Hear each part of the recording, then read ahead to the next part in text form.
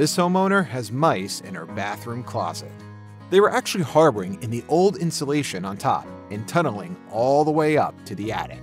We're going to install several rodent bait stations in the bathroom, the bathroom closet, the attic, and in several locations along the exterior of the home. Once we're outside, we're going to stuff any gaps or openings around the utility pipes with chew-proof stainless steel mesh, and then seal them with a waterproof adhesive.